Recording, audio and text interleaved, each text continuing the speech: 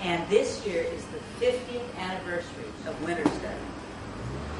And I wanted to coincide with that. We, they go out there in the dead of winter to study the wolves and the moose and their interrelationship.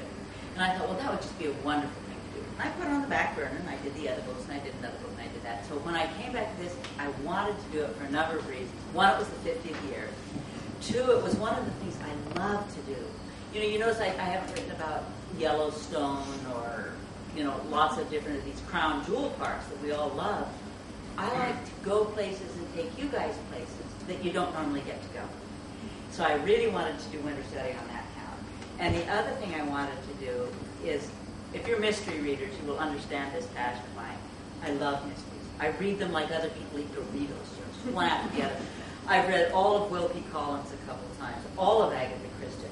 Agatha Christie has used up every single plot years before any of us were ever. uh, all of uh, Sherlock Holmes. And in Firestorm, I got to do the locked room mystery. You know, the speckled band, nobody can get in the room, nobody can get out, dead body.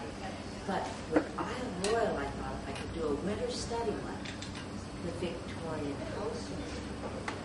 Snowed in, you know, all the party people there, nobody out. The servants magically exonerated on some level. And so I thought, okay, this is how I want to come back. I want to come back with winter study. And so I started my um, campaign of, of wheedling and begging and pleading